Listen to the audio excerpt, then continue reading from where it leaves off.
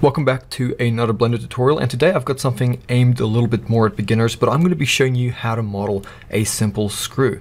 Now this might not look like a very um, useful tutorial, maybe a little bit basic, a little bit boring, but the principle of making a screw is really useful because it can also allow you to make things like springs and other things that need these iterative little um, bendy things that go up on a stack that might be hard to model. For example, like the threads on a screw, because they have an offset. It's not exactly something that you could model by hand very easily. So I'm going to show you how to use Blender's screw modifier and make this relatively intricate object very, very quickly and very easily and show you how you can do the same thing to make a spring or anything that run, runs on the same kind of stacked curve, stacked angle principle, if you will, like these little threads that are stacked on top of each other. So if this is something you'd like to learn, uh, keep watching and I'll show you step by step how to do it in Blender.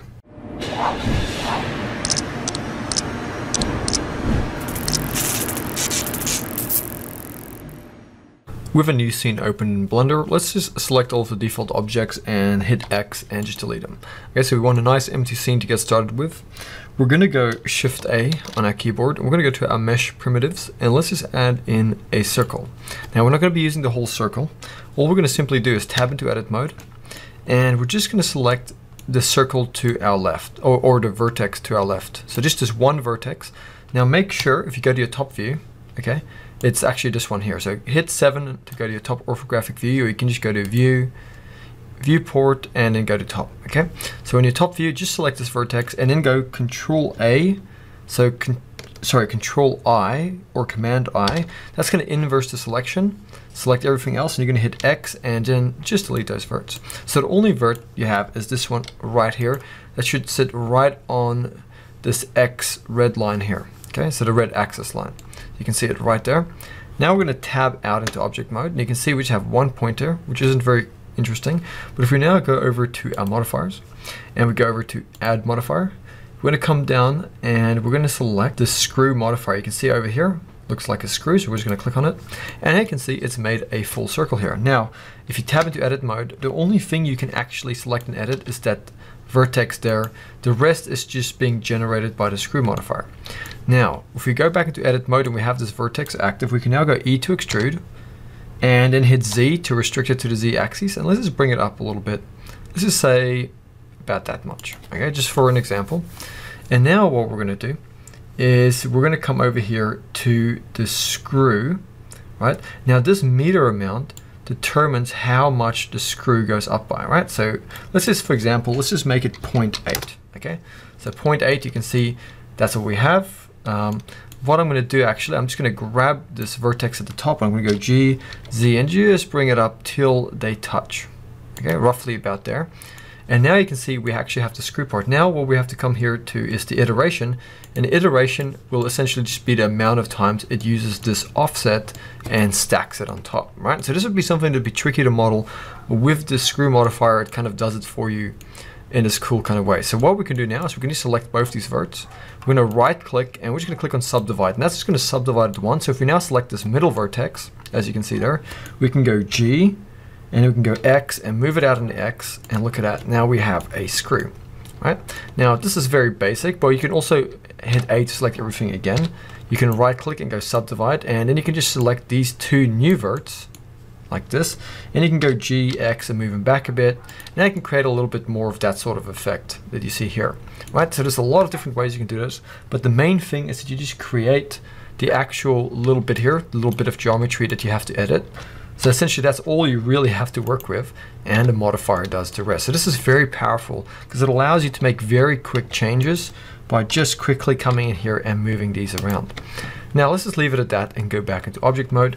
Now all you have to determine is how tall you want your screw. So let's just go with something like 12 iterations.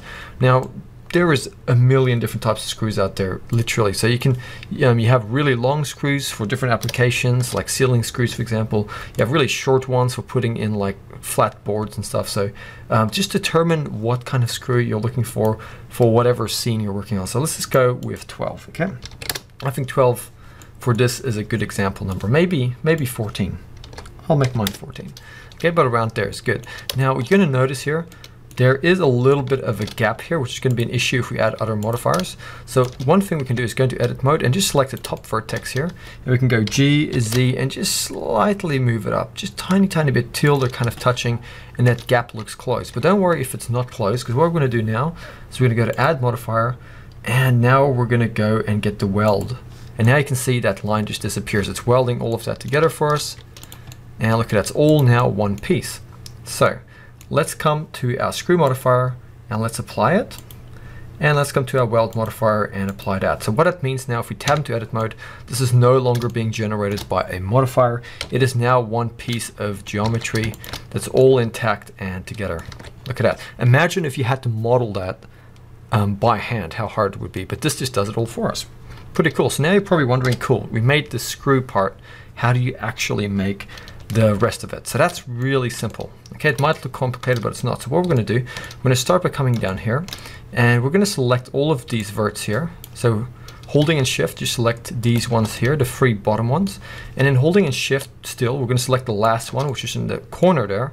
I'm going to hit F3 and it's going to come up with a search bar. I'm going to type in merge and going to go merge at last. Now what it's doing is essentially the vertex that we last selected, the last active vertex, is going to be the one it merges all of that to. Now it looks a bit of a mess, but don't worry about that too much. We'll fix that in a minute. So deselect and going to go Shift Alt and then just click on an edge down here and it's going to loop select all of these guys like so. And now it, this might be a little bit tricky, but just go S and then Z and restrict the scaling to the Z a little bit. And then we're gonna go E to extrude and Z and bring it down like so. Then we're gonna go S, Z and flatten it on the Z a little bit. S, Z, flatten it. You can also just go S, Z, zero and it'll zero it out on the Z. But I'm just gonna go like this. And I'm gonna go S to scale it a bit.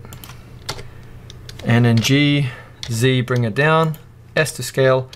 And all I'm doing is just making a point like this. So you can make your screw as pointy as you want.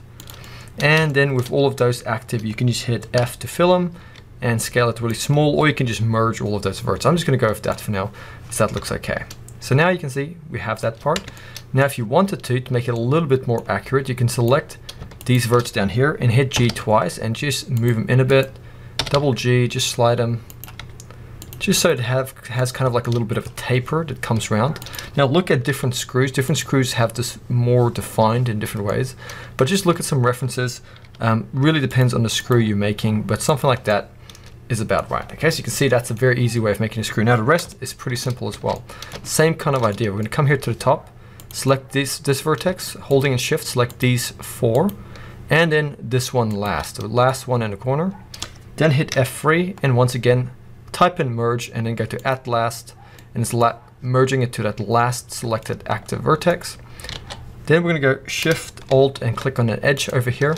It's gonna loop select these and then we're gonna go E to extrude and Z and move it up. And then S, Z and flatten it onto Z like so. And now we can go Shift Alt and S and just round it out just a little bit if it needs it. So Shift Alt and S.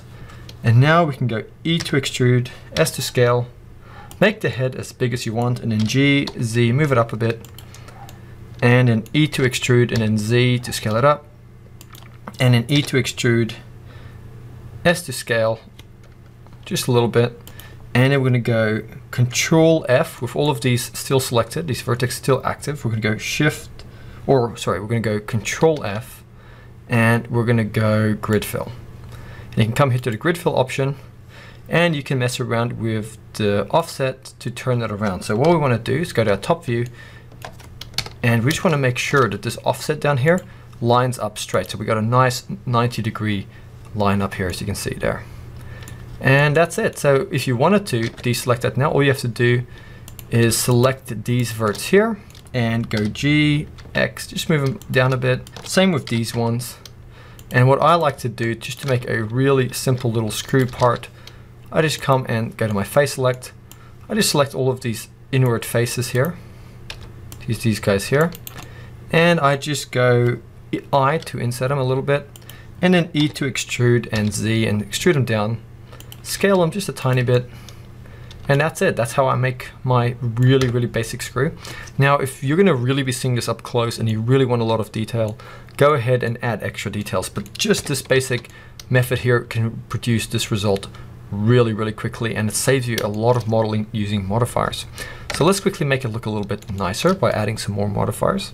So I like to add a bevel modifier and I'm gonna come here to the segments and I'm gonna bump it up to free and all that's doing is adding a nice little bevel to certain places. But if the angle isn't quite right, you can come here to the angle and you can mess around with it till you get kind of results that you like. Something like that looks cool. And then let's add a subdivision surface modifier on top of that. Okay, so that's looking actually pretty cool. So that's how you make a really cool, simple little um, screw. And I hope you guys have seen the importance of using the sort of screw modifier technique. Also with the screw modifier, you can use the exact same technique to make something like springs. I'll quickly give you an example here. If we just did the exact same thing, you go into edit mode, just isolate one vert.